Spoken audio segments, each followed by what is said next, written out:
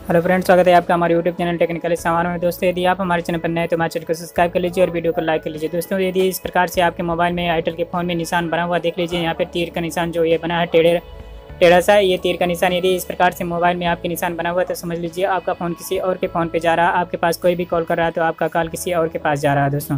तो इसे हटाने के लिए दोस्तों मैं इस वीडियो में बताऊँगा तो वीडियो को आप लास्ट तक ज़रूर देखना दोस्तों। और यदि आप हमारे चैनल पर नए आए तो हमारे चैनल को सब्सक्राइब कर लीजिए और वीडियो को लाइक कर लीजिए दोस्तों। तो इसे हटाने के लिए आपको क्या करना है, सबसे पहले आपको जो है दोस्तों सेटिंग में जाना है। तो चलिए सबसे पहले आपको जो है मीनू में जाना पड़ेगा तो आप अपने मोबाइल का लॉक खोल लीजिए, उसके बाद आप मीनू में जाइए। तो दोस्तों, यहाँ पे हम सबसे पहले अपने मोबाइल का लॉक खोलेंगे और यदि आपने अपने मोबाइल का लॉक खोल लिया है तो सबसे पहले आपको जो है मीनू में जाना है। दोस्तों, यहाँ पे देखिए मीनू मतलब सभी फ़ाइल को हमें खोल लेना। फ़ाइल को खोलने के बाद दोस्तों, हमें दूसरा काम क्या करना है, हमें दोस्तों सेटिंग में जाना है। आपको कहीं भी सेटिंग हो दोस्तों, आप सेटिंग में चले जाना।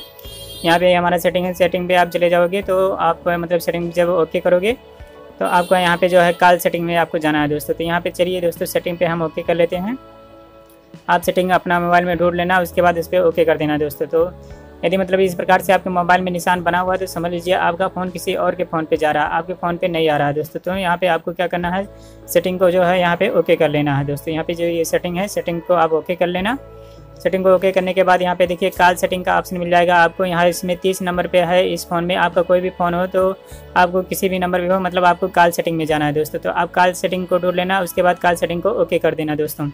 कॉल सेटिंग को ओके कर देंगे। ओके करने के बाद यहाँ पे आपको मिल जाएगा option SIM two call setting का। आपका, अगर दी आपने सिम वन लगाया है तो आपका सिम वन लिख के आएगा या सिम टू लिख के आएगा, जो भी हो, आप उसको ओके कर लेना दोस्तों। तो यहाँ पे हम सिम टू को ओके कर लेंगे। उसके बाद यहाँ पे देखिए आपको कार ड्राइवर ढूंढना है। तो यहाँ हमारा तीसरे नंबर पे कार ड्राइवर है। आपका जो भी नंबर हो, आपको कार ड्राइवर को इसमें ढूंढ लेना है। उसके बाद यहाँ पे देखिए सबसे पहले नंबर पर आएगा डाइवर्ट आल वॉइस कॉल्स।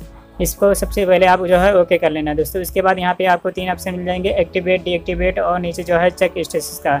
आप नीचे जाके चेक भी कर सकते हो, लेकिन हमें दोस्तों डीएक्टिवेट करना डीएक्टिवेट करने के लिए मैं आपको बता दूँ दोस्तों, आपके मोबाइल में वैलिडिटी बैठता या पैसा रहेगा तभी मतलब ये डीएक्टिवेट होगा दोस्तों, क्योंकि ये इसमें एस चार्ज लग रहा है दोस्तों। तो यहाँ पे देखिए, अब हमारा ये मतलब डीएक्टिवेट हो गया है।